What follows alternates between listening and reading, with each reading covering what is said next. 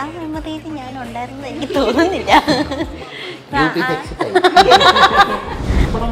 ഒരു രീതിയിലല്ല ഇതിനെ അപ്രോച്ച് ഇരിക്കുന്നത്. നമുക്കൊരു ഫുൾ പാക്കേജ് കാണാൻ വരുന്നവർക്ക് ഇടിയാണെങ്കിൽ എന്റർടൈൻ ചെയ്യണം ഫൈറ്റ് എന്ന് പറഞ്ഞാൽ കയ്യത്തെ ആക്ഷൻ തൊണ്ണൂറ് ഡിഗ്രിയിൽ കറങ്ങി അങ്ങനെയല്ല. സിനിമയിലെ സ്ട്രോങ് ബിൽഡേഴ്സ് എന്ന് പറഞ്ഞാൽ ഫാമിലി ഓഡിയൻസ് ആണ്. ഈ ഫാമിലി ഓഡിയൻസിന് നമുക്ക് കൊണ്ടുവരാൻ പറ്റി കഴിഞ്ഞാൽ നമ്മുടെ സിനിമ സക്സസ്ഫുൾ ആണ്. താര പറഞ്ഞു "വാ, നമുക്ക് വണ്ടി എടുത്ത് പോവാം. എന്ന് പറഞ്ഞു ഇത് താരനിബിഡമായ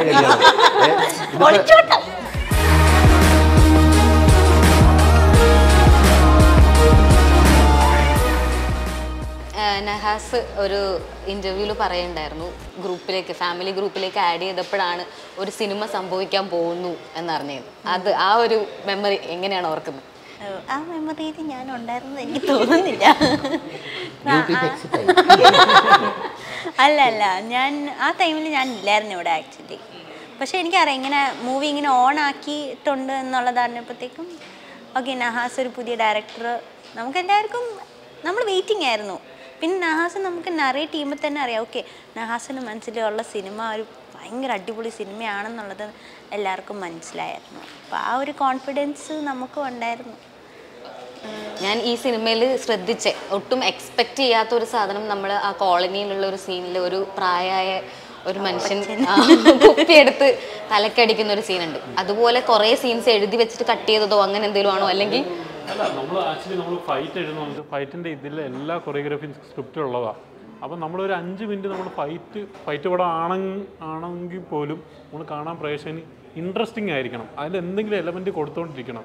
അല്ലെങ്കിൽ നമ്മൾ അഞ്ച് മിനിറ്റ് ഫൈറ്റ് ആണെങ്കിൽ നമുക്ക് ബോറടിക്കും. അങ്ങോട്ടിടി ഇങ്ങോട്ടിടി ഒരു സർപ്രൈസിങ് ആയിട്ട് സർപ്രൈസിംഗ് ആയിട്ട് ഒരാൾ എൻട്രി ഫൈറ്റ് എങ്ങനെയാണ് എഴുതുന്നത് ഫൈറ്റ് എന്ന് പറഞ്ഞാൽ കയ്യത്തെ ആക്ഷൻ തൊണ്ണൂറ് ഡിഗ്രിയിൽ കറങ്ങി അങ്ങനെയല്ല. പ്ലേ നമ്മൾ എഴുതും പ്ലേ എഴുതും. അല്ലെങ്കിൽ ഇന്ന ഏരിയയിൽ അവർ ഡൗൺ ആകണം. അല്ലെങ്കിൽ ഇന്ന ഏരിയയിൽ ഒരാൾ എൻട്രി ആകണം. റോബർട്ടിനെ ആക്രമിച്ചുകൊണ്ടിരിക്കുന്ന സമയത്ത് റോബർട്ട് ഒരു സ്റ്റെയർ കയറാൻ പോകുമ്പോൾ പ്രായമായിട്ടുള്ള ഒരാൾ അവിടെ ഇരിക്കുന്നുണ്ട്. അയാൾ വളരെ അവിചാരിതമായിട്ട് റോബർട്ടിന്റെ തലക്കിട്ട് തലയ്ക്ക് ഒരു കുപ്പി വെച്ച് അടിക്കുന്നു എന്ന് പറഞ്ഞത് നമ്മൾ എഴുതും. ബാക്കി അത് ബാക്കി കൊറിയോ ചെയ്ത് നമ്മൾ എഴുതിയതിന്റെ മേലെ വിഷ്വലിൽ വരുമ്പോഴാണല്ലോ ഇത് ഗംഭീരമാണ് ഇത് നമ്മൾ നോവൽ വായിക്കുന്നതല്ല അല്ലെങ്കിൽ കഥാപുസ്തകം വായിക്കുന്നതല്ല. അപ്പോൾ അതാണ് ഏറ്റവും നന്നായിട്ട് അവരത് റെൻഡർ ചെയ്തിരുന്നു. ബാക്കിയുള്ള കോറിയോ ഒഴിച്ച് അവിടെ നടക്കുന്ന എല്ലാ പരിപാടികളും നമ്മൾ പേപ്പറിൽ ഇതൊക്കെ വേണം ഇന്ന ഇമോഷൻ ഡൗൺ വേണം ഇന്നത് കയറണം എന്നുള്ള രീതിയിൽ നമ്മൾ ക്ലൈമാക്സിലായാലും ആ പോയിന്റ് പോലും ചേട്ടൻ ആ പിടിക്കുന്ന സാധനമൊക്കെ എല്ലാം ഉണ്ടായിരുന്ന സംഭവമാണ്. ഫൈറ്റിംഗ് സീൻ എനിക്ക് തോന്നുന്നു നിങ്ങളുടെ എല്ലാ വീഡിയോസും ഇപ്പൊ ഇന്റർവ്യൂസ് ആണെങ്കിലും അതിന്റെയൊക്കെ അടിയിൽ വന്ന മെയിൻ കമന്റ് അടിയും ഇടിയും കഥയും ഗംഭീരമായ ഒരു സിനിമ ആ ഒരു കമന്റ് കാണുമ്പോൾ മനസ്സിൽ എന്താ തോന്നുന്നത് ഉറപ്പായിട്ടും. കാരണം ഈ ബേസിക്കലി കൊമേഴ്ഷ്യൽ സിനിമകളിൽ റൈറ്റേഴ്സിനെയൊക്കെ അക്സെപ്റ്റ് ചെയ്യുക അല്ലെങ്കിൽ റൈറ്റേഴ്സിനെ പറ്റി സംസാരിക്കുക എന്ന് പറഞ്ഞാൽ വളരെ റെയറാണ് അപ്പോൾ ഞങ്ങൾക്ക് ഫ്രം ദ ബിഗിനിങ് ഞങ്ങൾക്ക് വളരെ ദൃഢമായിട്ടുള്ളൊരു ഒരു ആഗ്രഹം ഉണ്ടായിരുന്നു. നമ്മുടെ സിനിമയിൽ നമ്മുടെ തിരക്കഥയെപ്പറ്റി ഓഡിയൻസ് സംസാരിക്കാൻ വേണ്ടിയിട്ടുള്ള പണി നമ്മൾ എടുക്കണം അതിന് വേണ്ടിയിട്ട് എഫേർട്ട് ഇടണം എന്നുള്ളൊരു വലിയ ആഗ്രഹം ഉണ്ടായിരുന്നു. അത് സംഭവിച്ചു. അതുകൊണ്ട് നമ്മൾ സീൻ എഴുതുമ്പോഴും അത് ശ്രദ്ധിക്കും. പിന്നെ കഥാപാത്രങ്ങൾക്ക് വെറുതെ വന്നു പോകുന്ന കഥാപാത്രങ്ങൾ കഥാപാത്രങ്ങളാകരുത് എല്ലാവർക്കും ഒരു ഇമ്പോർട്ടൻസ് വേണം എല്ലാവരെയും കുറിച്ച് ആൾക്കാർ സംസാരിക്കണം എന്നുള്ള ഒരു ആഗ്രഹം ഈവൻ എനിക്ക് തോന്നി ഡയലോഗ്സ് പോലും ഭയങ്കര നമ്മൾ നോർമൽ ലൈഫിൽ യൂസ് ചെയ്യുന്ന ഡയലോഗ്സ് ഒക്കെയാണ്. അതുകൊണ്ട് ഭയങ്കര ഇങ്ങനെ കടുകട്ടി ഡയലോഗൊന്നുമല്ല നമ്മൾ നമ്മൾ ലൈഫിൽ നമ്മൾ യൂസ് ചെയ്യുന്ന വാക്കുകൾ അല്ലെങ്കിൽ വെരി റിലേറ്റബിൾ ആയിട്ടുള്ള ഡയലോഗ്സ് അതൊക്കെ എനിക്ക് ഭയങ്കര ഇഷ്ടമായിരുന്നു അത് ഞാൻ നേരത്തെ പറഞ്ഞിട്ടുള്ളതാ.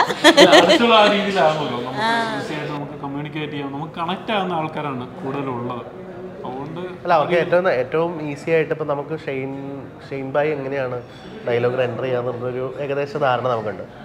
പെപ്പ എങ്ങനെയാണെന്നുള്ളത് നമുക്കറിയാം. നീരജ് എങ്ങനെയാണെന്ന് അറിയാം ലാൽ സാറ് ബൈജു ചേട്ടനൊക്കെ ഇവരൊക്കെ എങ്ങനെയാണ് ഡയലോഗ് എന്റർ ചെയ്യാമെന്ന് നമുക്കറിയാം. അപ്പോൾ അവർക്ക് വേണ്ട ഒരു ഫോർമാറ്റിൽ നമ്മളതങ്ങ് കൊടുത്താൽ മതി. അല്ലാതെ നമുക്കവിടെ ഒരു അഞ്ച് പേജിന്റെ ഘടാഘടിയൻ ഡയലോഗ്സ് ഒന്നും കൊടുക്കേണ്ട ആവശ്യമില്ല. അത് ക്യാരക്ടർ ഡിമാൻഡ് ചെയ്യുന്നുണ്ടെങ്കിൽ മാത്രം അങ്ങനെ ചെയ്താൽ മതിയല്ലോ. ഇപ്പോൾ മമ്മൂക്കയും ലാലേട്ടനും സുരേഷ് ഏട്ടനും പറ- പറയുന്ന തരത്തിലുള്ള ആ ഒരു സ്വാതന്ത്ര്യം ഒരുപക്ഷെ പ്രേക്ഷകർ ഇവർക്ക് കൊടുത്തിട്ടുണ്ടാവണമെന്നില്ല. അപ്പോൾ അത് കൊടുക്കാത്ത അല്ലെങ്കിൽ അത് അതിലേക്ക് എത്തുന്ന ആർട്ടിസ്റ്റുകളെ നമ്മൾ എടുത്ത് ഈ പരിപാടി ചെയ്ത് പാളിപ്പോയി കഴിഞ്ഞാൽ അതും നമ്മുടെ തലയിലിരിക്കും. അപ്പോൾ വളരെ ന്യൂട്രലായിട്ട് കാര്യങ്ങളെ സമീപിക്കുക എന്നുള്ളതാണ്.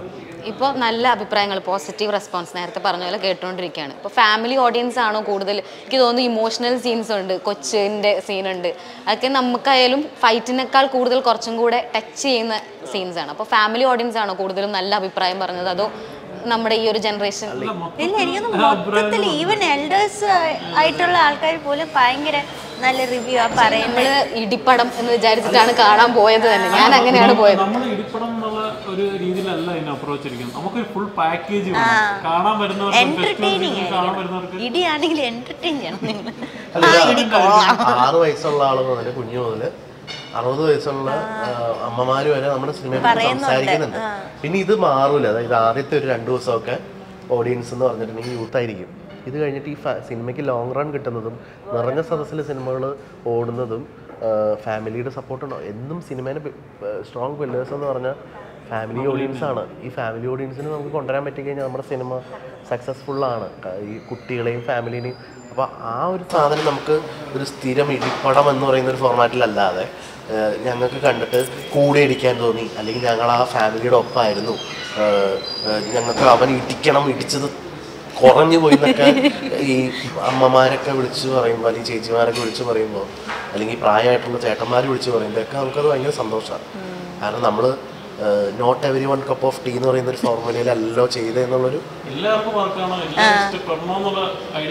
വർക്ക് ചെയ്തത് ആഗ്ര ആഗ്രഹം അതുകൊണ്ട് കോമഡി വേണം. അതൊന്നും ഫോഴ്സ്ഫുള്ളി ചെയ്തിട്ടില്ല കേട്ടോ.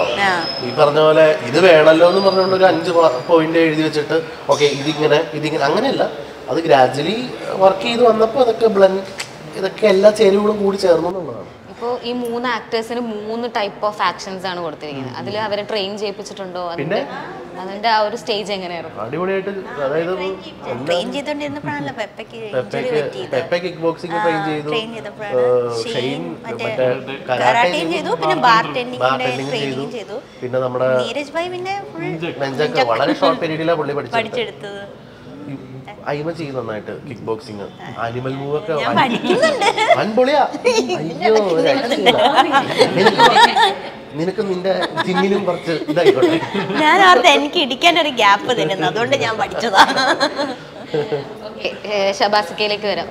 വാപ്പയുടെ ഒരു ഡയറി കുറിപ്പ് ഫേസ്ബുക്കിൽ വായിക്കുകയുണ്ടായി കുറേ ഇമോഷണൽ സ്റ്റേജിലൂടെ കടന്നു പോയിട്ടുണ്ടാവും അപ്പോൾ എങ്ങനെയാണ് ലൈഫ് ജേണി നോക്കി കാണുന്നത്? അല്ല എന്നുള്ള നമുക്ക് എന്റെ ഒരു ആഗ്രഹം എന്താ പറയുക നമ്മൾ എന്തായാലും ഇതിന് ഇറങ്ങി തിരിച്ചു. അപ്പം കുടുംബത്തിൽ നിന്ന് നമുക്ക് എല്ലാവരുടെയും കുടുംബത്തിൽ നിന്ന് അങ്ങനെ വലിയ സപ്പോർട്ടൊന്നും ആർക്കും കിട്ടത്തില്ല. എന്റെ മാത്രം കുടുംബത്തിന്റെ പ്രത്യേകത അല്ല അത്. അപ്പോൾ ഞാൻ വിചാരിച്ചൊരു പോയിന്റ് എന്താന്ന് പറഞ്ഞാൽ ഇപ്പോൾ എന്റെ നാട്ടിൽ ഒരു ഈരാറ്റുപേട്ട എന്ന സ്ഥലത്ത് നിന്ന് ഉണ്ടാകുന്ന ആദ്യത്തെ ഒരു സിനിമാക്കാരനാണ് ഞാൻ. ഇതിനു മുമ്പ് അവിടെ ഉണ്ടായിട്ടില്ല. എന്റെ ഉമ്മ പോലും ചോദിക്കുന്നത് നിനക്ക് മാത്രം എന്താടാ ഈ വെട്ടെന്ന് ചോദിക്കുന്നത് അപ്പോൾ ഞാൻ ചിന്തിച്ചൊരു പോയിന്റ് എന്ന് പറഞ്ഞാൽ ഞാൻ അവിടെ തോറ്റു പോയി കഴിഞ്ഞാൽ ഇനി വരാൻ പോകുന്ന ആ നാട്ടിൽ നിന്ന് വരാൻ പോകുന്ന പലർക്കും ഞാനായിരിക്കും മാതൃക. അയാളുടെ മോൻ പോയി പരാജയപ്പെട്ടു. ഇനി നിങ്ങൾ എന്തിനാണ് അപ്പോൾ എനിക്ക് ചിന്തിച്ച് നമ്മൾ എവിടെയെങ്കിലും ഡൗൺ ആവുന്ന പോയിന്റിൽ ഞാൻ ചിന്തിച്ചൊരു പോയിന്റ് എന്ന് പറയുന്നത് ഞാൻ തോക്കാൻ പാടില്ല. ഞാൻ ജയിച്ച് കാണിച്ചാൽ ഇനി വരാൻ പോകുന്നവർക്ക് അത് ഇൻസ്പിറേഷൻ ആയിരിക്കും. അവൻ രക്ഷപ്പെട്ടു നിങ്ങൾക്കും പോകാമെന്നുള്ളത് അത് മാത്രമാണ് ചിന്തിച്ചിട്ടുള്ളത് എല്ലാ പോയിന്റിലും പിന്നെ ഫാമിലിയൊക്കെ എല്ലാവർക്കും പ്രശ്നമുണ്ട്. പിന്നെ വാപ്പ എന്ന് പറഞ്ഞാൽ വാപ്പ കുറച്ചും കൂടെ ഓർത്തഡോക്സ് ആയിട്ടുള്ള ആളാണ്. കുറച്ചും കൂടെ മതം പരിപാടിയൊക്കെ ഉള്ള ആളാണ്. പുള്ളിയുടെ പോയിന്റ് ഓഫ് വ്യൂ ചിന്തിച്ചാൽ പുള്ളി ചെയ്തത് ശരിയാണ്. ഞാൻ ഒരിക്കലും അതിനെ കുറ്റം പറയുന്നില്ല. കാരണം ഇവൻ എന്താവും എന്നുള്ളത്. കാരണം മൂത്ത മോനാണ് കുടുംബം നോക്കേണ്ട ആളാണ്. അവൻ സിനിമ എന്ന് പറയുമ്പോൾ ഇനി എന്താവും എന്നുള്ള ടെൻഷൻ അവനുണ്ട്. പിന്നെ മതപരമായിട്ട് അവർ ചിന്തിക്കുമ്പം അത് തെറ്റാണെന്നുള്ള പരിപാടിയിൽ ഇപ്പം പോകുന്നത് ശരിയാണോ എന്നുള്ളത്. അപ്പോൾ ഒരിക്കലും പുള്ളി എഴുതിയിരിക്കുന്നത് എന്റെ മോനെ തോപ്പിക്കണേ എന്നല്ല എന്റെ മോൻ പോകുന്നത് തെറ്റാണെങ്കിൽ തെറ്റിന്റെ വഴിയിലേക്കാണെങ്കിൽ അതിൽ തോപ്പിക്കണമെന്നാണ് പറഞ്ഞിരിക്കുന്നത് പറഞ്ഞേക്കുന്നത് അതിൽ പോലും ഒരിഷ്ടം കൊണ്ടാണ് അത് എഴുതിയിരിക്കുന്നത്. അത് ഭയങ്കര ഫീലുള്ള പേഴ്സണൽ ഭയങ്കര മൂവ്മെന്റ് എങ്ങനെയുണ്ട് ഈ സിനിമ ഇറങ്ങിയിട്ട് നാട്ടിലെ? മൂന്നുപേരോടും കൂടി എങ്ങനെ ആണ് നാട്ടുകാർ സ്വന്തം വീട്ടുകാർ ആദർശേട്ടനോട് മെയിനായിട്ട് ഫാമിലി എങ്ങനെ? എല്ലാം ഭയങ്കര ഹാപ്പിയാണ് എല്ലാവരും. എന്റെ ഫാമിലിയിൽ നിന്ന് ഒരു ഒരു പരിധിക്ക് കൊള്ളുന്ന അങ്ങനെ അങ്ങനെ അവർക്കും അവർ യൂസ്ഡ് ആയി. ഇതിൽ ഞാൻ പണിക്ക് പോയില്ല ഞാൻ പണിക്ക് പോയില്ല അങ്ങനെയല്ല അങ്ങനെയല്ല. അവർ ഓവറായിട്ട് സന്തോഷിക്കണമൊന്നുമില്ല. സീരിയസ്ലി അവരങ്ങനെ മറ്റേ ആർത്തുല്ലസിച്ചുള്ള സന്തോഷമൊന്നുമില്ല. വളരെ കൺട്രോൾഡ് ആയിട്ടുള്ള. കാരണം ഇത് എപ്പോൾ വേണേലും പോകാലോ നാളെ നമ്മുടെ ഒരു പടം പൊട്ടി തീർന്നു ഈ പരിപാടി. അപ്പോൾ അത് കാരണം തന്നെ അവരങ്ങനെ അങ്ങോട്ട് ഉറപ്പ- ഉറപ്പായിട്ടും എന്റെ ഫാദറൊക്കെ വളരെ പ്രൗഡാണ് പുള്ളി സിനിമയിലൊക്കെ വരാനായിട്ട് ഒരുപാട് ആഗ്രഹിച്ചിട്ടുള്ള ഒരാളാണ്. എന്നെ ഏറ്റവും കൂടുതൽ സപ്പോർട്ട് ചെയ്തിട്ടുള്ള ഒരാളാണ്. അപ്പോൾ അത് കാരണം തന്നെ ഹീസ് വെരി മച്ച് പ്രൗഡ് ഇപ്പോൾ ഒരാളുടെ അടുത്ത് എന്റെ സിനിമയെ പറ്റി എന്റെ ഫാദർ സംസാരിക്കണ കേൾക്കുമ്പോൾ ഞാൻ പോയി കണ്ടോളൂ. എന്തിനു ഇത്രയും പറയണേ? എന്ന് വെച്ചിട്ട് ഇങ്ങനെ അവനെ പടം കണ്ടോ? ആർ കണ്ടോ? അല്ലെങ്കിൽ ഇത് ഇത് നല്ല അടിപൊളിയായിട്ട് പോകണ്ടോ അവനിങ്ങനെ ക്യാരക്ടർ ഞാൻ എന്തിനാണ് ഇങ്ങനെ ഇത് പറയണമെന്ന് ഞാൻ പറയുമ്പോൾ പോലും അച്ഛനൊക്കെ ആ മൊമെന്റ് എൻജോയ് ചെയ്യുന്നുണ്ടെന്ന് കാണുന്നുണ്ട്. അമ്മയാണെങ്കിലും അമ്മയുടെ വർക്ക് സ്പേസിലൊക്കെ എന്നെ പറ്റി പറയുന്നുണ്ടെന്നൊക്കെ പറയുമ്പോൾ ഹാപ്പിയാണ്. പക്ഷെ അവർ എന്റെ അടുത്ത് ഇച്ചിരി കൺട്രോൾഡ് ആയിട്ടാണ് നിൽക്കുന്നത്. അത് അത് എനിക്ക് ഹെൽപ്പ് ചെയ്യാറുണ്ട്. നമ്മൾ പരിധി പരിധിക്കുള്ളിൽ എനിക്ക് ഉമ്മച്ചി ടീച്ചറാണ്. അപ്പോൾ ഉമ്മച്ചി ഒരിക്കലും തിയേറ്ററിൽ പോയി സിനിമ കാണില്ലെന്ന് തീരുമാനം എടുത്ത ആളാണ് പോ പോകത്തില്ല. പക്ഷെ ഉമ്മച്ചിയുടെ കൂടെ വർക്ക് ചെയ്യുന്നവരൊക്കെ മോന്റെ കൂടെ ഭയങ്കര ഹിറ്റാണല്ലോ എന്നൊക്കെ പറയുമ്പോൾ പേഴ്സണലി ഭയങ്കര സന്തോഷം എന്നെ വിളിച്ചു പറയാറുണ്ട്. ഈ പറഞ്ഞ പോലെ ഈ നമ്മളെ ഒഴിവാക്കിയിട്ടുള്ള ആൾക്കാരൊക്കെ ഉണ്ടാവുമല്ലോ. അല്ലെങ്കിൽ നമ്മൾ മറ്റേ ഈ- നമ്മുടെ വീട്ടുകാരുടെ അടുത്ത് വന്നിട്ട് ഉപദേശിക്കും. ആ ചെറുക്കൻ പണിക്കൊന്നും പോകണ്ട മറ്റവൻ പണിക്കൊക്കെ പോകണ്ടേ? എന്താണ്? ഒരു പ്ലാൻ ഇതൊക്കെ രക്ഷപ്പെടുവോ? എന്നൊക്കെ ചോദിച്ചപ്പോൾ ഇപ്പൊ നമ്മൾ രക്ഷപ്പെട്ട് കഴിഞ്ഞപ്പോഴത്തേക്കും എടാ നീ നീ രക്ഷപ്പെടുമ്പോ നമുക്ക് നേരത്തെ അറിയാം." അല്ല നാട്ടിലെ വഴി പോകുന്ന ചേട്ടന്മാർ ഹാപ്പി ആണെന്നുള്ള പോയിന്റാണ് സത്യം സത്യം. അത് വളരെ സന്തോഷമുള്ള കാര്യം. ഏറ്റവും ഇതിൽ രസം കിട്ടണം അതില. അതായത് നമ്മളെ തള്ളി പറഞ്ഞവരും നമ്മളെ മാറ്റി പറഞ്ഞവരും ഒക്കെ വന്നിട്ട് നമ്മുടെ അടുത്ത് നമ്മൾ അക്സെപ്റ്റ് ചെയ്യുന്ന ഒരു അവസ്ഥയുണ്ടല്ലോ. അല്ലെങ്കിൽ നീ നമ്മുടെ നാട്ടിലെയാണെന്നൊക്കെ പറയണു എന്നൊക്കെ പറയണ കേൾക്കുന്നത് അറ്റ് ദ സെയിം ടൈം ഇതൊക്കെ വിരലിലുണ്ടാവുന്ന ആൾക്കാരാണ് വലിയൊരു ഭൂരിഭാഗം ആൾക്കാർ നമ്മളെ സ്നേഹിക്കുന്ന ആൾക്കാരുണ്ട്. നമ്മളെ ഓർത്ത് സന്തോഷിക്കുന്ന അല്ലെങ്കിൽ നമ്മളോട് സംസാരിക്കുമ്പോൾ വരുന്നൊക്കെ ഇതൊക്കെ സന്തോഷമാണല്ല അതൊക്കെ അതാ ഈ ഹിറ്റ് ഉണ്ടാക്കുന്നതിനേക്കാൾ പാടാണ് ഇവിടെ നിൽക്കുക എന്നുള്ള സാധനം. അയിമക്കൊക്കെ പിന്നെ ഒരുപാട് വർഷത്തെ ഇല്ല ഞാൻ ഞാൻ ഈ ബ്രേക്ക് കഴിഞ്ഞിട്ട് വന്നാൽ എനിക്ക് നല്ല ടെൻഷൻ ഉണ്ടായിരുന്നു. ഈവൺ എന്റെ പാരൻസ് ആണെങ്കിൽ പോലും എടി നീ നന്നായിട്ട് ചെയ്തിട്ടുണ്ടല്ലോ അല്ലേ? എന്നാ എന്നോട് ചോദിക്കുന്നത് ഏറ്റവും കൂടുതൽ സിനിമ കഴിഞ്ഞ പിന്നെ എനിക്ക് മെസ്സേജ് വന്നിട്ടുള്ളതുണ്ട് എടാ ഇത് ശരിയാവോ? ഞാൻ എന്റെ ജീവിതത്തിൽ ഞാൻ കല്യാണം കഴിക്കുന്ന പെണ്ണിന് ഒരു ഇത്ര മോട്ടിവേഷൻ കൊടുക്കുന്നു എനിക്ക് തോന്നുന്നില്ല നിന്റെ ക്യാരക്ടർ നല്ലതാന്ന് പറയും. ഇല്ല പറയില്ല. കൊള്ളില്ല എന്റെ പെർഫോമൻസ് വളരെ മോശമായിരുന്നു. നീ അത് കണ്ടോ ഇത് കണ്ടോ?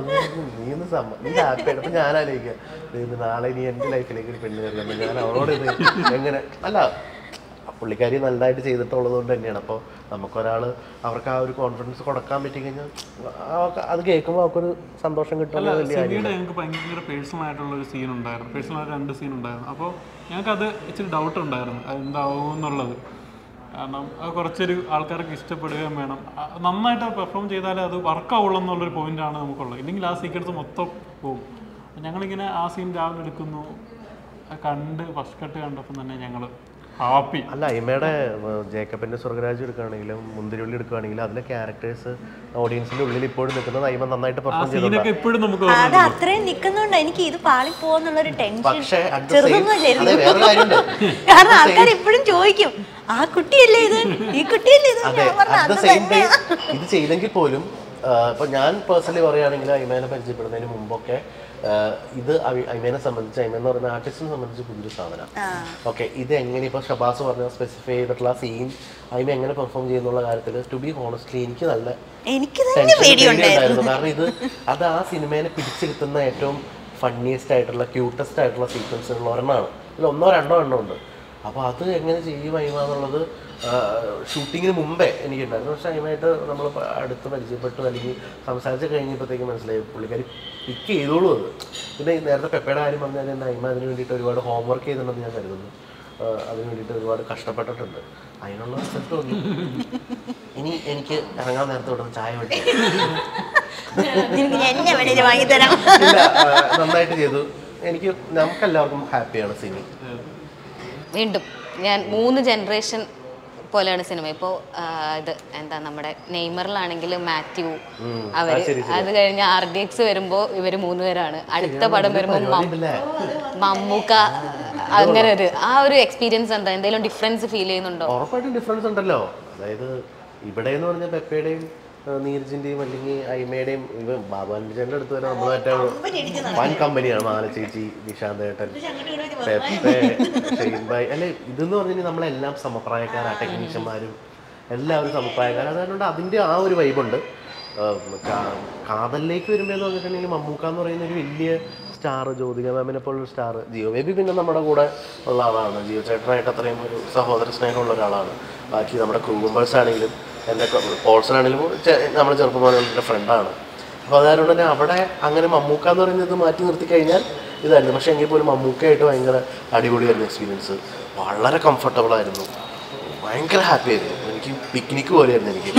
ഡേയ്സ് ഇതിലേക്ക് നമ്മുടെ നെയ്മറിലേക്ക് വരികയാണെങ്കിൽ സുധിയായിട്ട് വളരെ നല്ല ആത്മബന്ധമുണ്ട്. സുധി നമ്മുടെ ഏകദേശം സമപ്രായക്കാരനായിട്ടുള്ള ആളാണ്. അതുകൊണ്ട് ആ ഏരിയയിൽ ഡയറക്ഷൻ ഡിപ്പാർട്ട്മെന്റിനൊന്നും പ്രശ്നം ഉണ്ടായിരുന്നില്ല. മാത്യു നസലിൻ പിന്നെ നമ്മുടെ ഒരു അനിയന്മാരുടെ ഒരു ഇതുപോലെയാണെങ്കിൽ ഉമ്മാർ നമ്മുടെ ഒരേ വൈബിലേക്ക് കണക്ട് ആവുന്ന ആൾക്കാരായിരുന്നു. പിന്നെ ഈ ഡോഗ് കറക്റ്റായിട്ട് ചെയ്യാന്ന് പറയുന്ന ഡിഫിക്കൽട്ടി പരിപാടികളൊക്കെ ആയിരുന്നു അതിനെ സംബന്ധിച്ചൊരു ടഫായിട്ടുണ്ടായിരുന്ന സംഭവം. പക്ഷെ മൂന്ന് സിനിമകളും മൂന്ന് കൈൻഡ് ഓഫ് എക്സ്പീരിയൻസ് ആയിരുന്നു. മൂന്ന് ജോണേഴ്സ് ആണ്.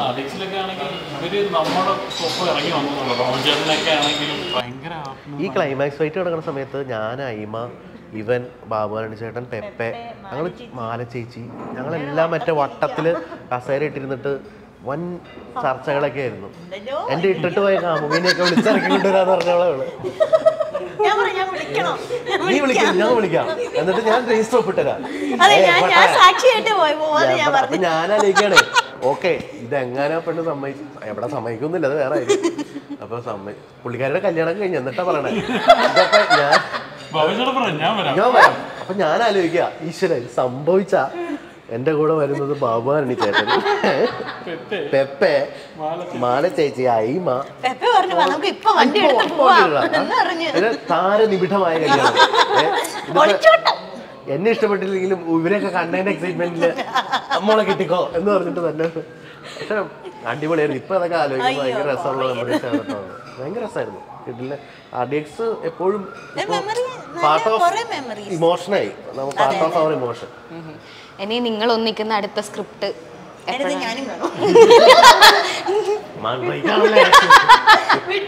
അല്ല അയിമയ്ക്ക് ഉറപ്പായിട്ടും വർക്ക് ചെയ്യണം എന്നുള്ള ഒരു ആഗ്രഹമുണ്ട് ഇപ്പോൾ ഞങ്ങൾ തമ്മിലുള്ള പരിപാടിയൊക്കെ ചർച്ചകൾ നടക്കുന്നുള്ളൂ ഒന്നും ഒഫീഷ്യലി പറയാറൊന്നും ആയിട്ടില്ല. മേഡത്ത് മേഡത്തിന്റെ ഒക്കെ മേഡമൊക്കെ കനിയണം. അല്ല ഉറപ്പായിട്ടും ഉണ്ടാവും ഞങ്ങൾ പിരിയാനൊന്നും ഉദ്ദേശിച്ചിട്ടില്ല. പക്ഷെ എന്ന് കരുതി എപ്പോഴും ഒരുമിച്ചെന്നുള്ളതല്ല ഷബാസ് ഷബാസിന്റെതായിട്ടുള്ള സിനിമകളായിട്ടുണ്ടാവും. ഞാൻ എന്റേതായിട്ടുള്ള ഞാൻ വേറെ സിനിമ എഴുതിക്കൊണ്ടിരിക്കുകയാണ്. ആ- സിനിമയിൽ ഇതിലുണ്ടാവും. പക്ഷേ ഞങ്ങൾ കൂടെ ചേരുന്ന സമയങ്ങളുണ്ടാവും. എല്ലാം സംഭവിക്കട്ടെ. അതാണ്. ഒരു സ്റ്റേജിൽ ഡാൻസ് ചെയ്ത വീഡിയോ. ഞാനല്ലേ? നമ്മളെ ലുലുവിൽ. ആ അതും കൂടെ ചെയ്യാനുണ്ടായിരുന്നു. ബാക്കിയെല്ലാം പരിപാടി ഞാൻ നേരത്തെ പറഞ്ഞ പോലെ പാട്ട് പാടാൻ പറഞ്ഞ പാട്ട് പാടും. എന്താ ആരെ ഇമിറ്റേറ്റ് ചെയ്യണം എന്ന് പറഞ്ഞ് ഇമിറ്റേറ്റ് ഡാൻസ് ഞാനും ആദ്യമായിട്ടാണ് കണ്ടത്. പക്ഷെ കൊള്ളാം. നമുക്ക് ആ ഒരു രീതിയും അതും കൂടെ ഉണ്ടെന്ന്. നരേഷനൊക്കെ ഭയങ്കര രസമാണ്. ഞാൻ എല്ലാവരുടെയും സൗണ്ട് എടുത്തിട്ടാണ് ആ അതൊക്കെ ചെയ്യും. ഞാൻ എല്ലാവരും ആർട്ടിസ്റ്റുകളുടെ സൗണ്ട് ഒക്കെ എടുത്തിട്ടാ narrate ചെയ്യാ. അപ്പൊ ഞാനായിരുന്നു ഹീറോ നരേറ്റ് നരേഷനൊക്കെ അടിപൊളിയാന്നൊക്കെ മേഡം ഒക്കെ പറഞ്ഞിട്ടുണ്ട്. നരേഷന് ആദർശന് ഭയങ്കര അടിപൊളിയാണ് നല്ല സന്തോഷം അതൊക്കെ കേൾക്കുമ്പോൾ അല്ല എനിക്ക് ഇങ്ങനെ സ്ക്രിപ്റ്റ് വായിച്ചു തരുമ്പോഴും മറ്റേ സീൻസ് ഒക്കെ വായിച്ചു ഓക്കെ കൊള്ളാം കൊള്ളാം. കുറെ ഞാൻ അഡാപ്റ്റ് ചെയ്തിട്ടുണ്ട്. ആക്ടർ അതിന്റെ ഗുണം നമ്മൾ ഒരാളോട് എക്സ്പ്ലെയിൻ ചെയ്യുമ്പോൾ എക്സ്പ്ലെയിൻ ചെയ്യുമ്പോൾ അവൻ ആ മോഡുലേഷനിലാണ് പറഞ്ഞു കൊടുക്കുക. എനിക്ക് ആ ആക്ടർ ഇതില്ലാത്തതുകൊണ്ട് ഞാൻ ചിലപ്പോൾ പ്ലെയിൻ ആയിട്ടായിരിക്കും പറഞ്ഞത്. അവർക്ക് കറക്റ്റായിട്ട് കിട്ടത്തില്ല. ഇപ്പം പറയുമ്പോൾ എന്ന് പറഞ്ഞാൽ ഓരോ ഡയലോഗ് എടുത്ത് മോഡുലേഷനിലൊക്കെ പറഞ്ഞു കൊടുക്കുമ്പോൾ ഇട് അല്ലെങ്കിൽ ഒരു ഡിലേ ചെയ്ത് പറഞ്ഞാൽ മതി. എന്നാന്നറിയേ താഴെ കമന്റ് വരുമോ മരങ്ങ വാങ്ങിയ അല്ല ഞാൻ എഴുതുന്ന സിനിമയിൽ എനിക്കൊരു റോൾ അങ്ങനെ. അത് ആഗ്രഹത്തിന് പുറത്ത് തന്നെയാണ്. ഇപ്പൊ നാളെ എഴുതുന്ന സിനിമയിൽ എല്ലാത്തിലും ഉണ്ടാവണമെന്നൊന്നുമില്ല. പക്ഷെ അത്രയും നമ്മുടെ അത്രയും ക്യാരക്ടർ എല്ലാവരും ശ്രദ്ധിക്കുന്നത് പുറത്തിറങ്ങുമ്പോൾ ആൾക്കാർ തിരിച്ചറിയുന്നു നെയ്മറിൽ അത് നല്ല കാതൽ നല്ല ക്യാരക്ടർ ആയിട്ടുണ്ട്. അതൊരു നിർബന്ധവും നിബന്ധനയൊന്നുമല്ല ഞാൻ ഉണ്ടാവും എല്ലാത്തിലും ഞാൻ ചേച്ചിയോട് പറയായിരുന്നു. എന്താ ആ ഡയലോഗ് ഏബിൾ ഏട്ടനോട് പറയുന്ന ഡയലോഗ് ഉണ്ട്. അത് ശരിക്ക് ആദർശേട്ടൻ സംസാരിക്കുന്നത് പോലെയാണ് എനിക്ക് ഫീൽ? ചെയ്തത്. ക്രിക്കറ്റ് ക്രിക്കറ്റിനെ അത് കുറിച്ച് ആ അതുപോലെ ബാറ്റ് കൊണ്ട് അടി കിട്ടുന്നതിന് മുന്നത്തെ ഡയലോഗും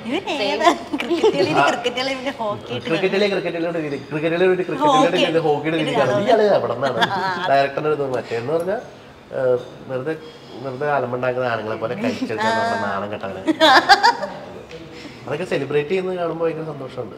ഇപ്പൊ ആർട്ടിസ്റ്റിനോട് നമ്മൾ സ്ക്രിപ്റ്റ് നറേറ്റ് ചെയ്യുന്നതും ഇപ്പൊ എഡിറ്ററിനോട് സ്ക്രിപ്റ്റ് നറേറ്റ് ചെയ്യുന്നതിനൊക്കെ ഒരു ഡിഫറൻസ് ഉണ്ടാവും. അതെന്താണെന്ന് പറയാമോ? ഈ- പടത്തിലെ ടെക്നീഷ്യൻസിനോട് കൂടുതൽ കഥ പറഞ്ഞിട്ടുള്ള ആൾ ഞാനാണ്. വി എഫ് എക്സ് ആയാലും അല്ലെങ്കിൽ ചമനായാലും അലക്സേട്ടനാണ് അവരുടെ ടീമിനോടെല്ലാം കഥ പറഞ്ഞിട്ടുള്ള ആൾ ഞാനാണ് അപ്പോൾ അവർക്ക് കുറച്ച് ഡീറ്റെയിലിംഗ് ഞാൻ ശ്രദ്ധിക്കും. ഡയലോഗിനെ ഇത് മാറ്റി നിർത്തിയിട്ട് ഡീറ്റെയിലിങ് അവർക്ക് വിഷ്വൽ കിട്ടണം വിഷ്വൽ അവർക്ക് പക്കയാകണം അല്ലെങ്കിൽ കട്ട് പോയിന്റ് പക്കയാക്കണം എന്നുള്ള പ്ലേകൾ കറക്റ്റ് ആകണം എന്നുള്ള രീതിയിലായിരിക്കും അവരോട് ശ്രദ്ധിച്ച് പറയാം ആർട്ടിസ്റ്റിനോട് കഥ പറയുമ്പോൾ ഇവനെയാണ് ഞാൻ കൂടുതൽ ഏൽപ്പിക്കുക.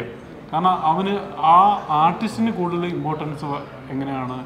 അവർക്ക് ഡയലോഗ്സ് ഇമ്പോർട്ടൻസ് അതിലെ ഇമോഷൻസ് എന്താണ്? അപ്പോൾ അത് ഇവൻ പറഞ്ഞു കൊടുത്താൽ ഭയങ്കര അടിപൊളിയായിരിക്കും. അപ്പോൾ നാസോ അത് ശ്രദ്ധിച്ചിട്ടുണ്ടായിരുന്നു. ആർട്ടിസ്റ്റിനോട് കഥ പറയും ഇവനെയും ടെക്നീഷ്യൻസിനോട് എന്നെയും അത് ഞാൻ ഈ അസിസ്റ്റന്റ് അസോസിയേറ്റ് ആയി നിന്നുകൊണ്ട് അവർക്ക് എന്തൊക്കെ പറഞ്ഞാലാണ് അവർക്ക് കറക്റ്റ് വിഷ്വൽ കിട്ടുക? അല്ലെങ്കിൽ ന്യാസിന്റെ വിഷ്വൽ എന്താണ്? എന്നുള്ളത് ഒരു ഞങ്ങൾക്ക് അറിയുള്ളൂ. അപ്പോൾ കറക്റ്റായിട്ട് അവൻ വീണ്ടും അവർ ബ്രീഫ് ചെയ്യേണ്ട അവസ്ഥയിലേക്ക് പോകാതെ നമുക്ക് ഒറ്റ നെറേറ്റീവിലെല്ലാം കിട്ടുക എന്നുള്ളത് ചിലപ്പോൾ ഞാനൊരു സീൻ പറഞ്ഞിട്ട് അവന്റെ വിഷ്വൽ എന്താണെന്നും കൂടെ ഞാൻ പറയും. ഇതാണ് അവൻ ഉദ്ദേശിച്ചത്. ഇവിടെ ഇങ്ങനെയായിരിക്കും സംഭവിക്കാൻ പോകുന്നത്. അതും കൂടെ അഡീഷണൽ ആയിട്ട് പറയും. അപ്പോൾ അവർക്ക് കുറച്ചും കൂടെ വേഗത്തിൽ അത് കിട്ടും എന്നുള്ളത് ശ്രദ്ധിച്ചിരുന്നു. അടുത്ത പടത്തിൽ ഞങ്ങൾ മാറും. ഇവന ഇവൻ ആർട്ടിസ്റ്റോടും പറയും ഞാൻ ടെക്നീഷ്യന്മാരോടും പറയും. ഓക്കെ അപ്പോൾ ആർ ഡി എക്സ് ഇനിയും കുറച്ചധികം കാലം തിയേറ്ററുകളിൽ ഇതുപോലെ തന്നെ ഹൗസ്ഫുള്ളായിട്ട് ഓടട്ടെ എന്ന് ആശംസിക്കുന്നു. അടുത്ത സിനിമകളും ഇതുപോലെ തന്നെ വിജയമാവട്ടെ എന്നും കൂടെ ആശംസിക്കുന്നു. ഞാൻ അധികം ബോറൊന്നും അടുപ്പിച്ചില്ല എന്നാണ് എന്റെ ഒരു വിശ്വാസം.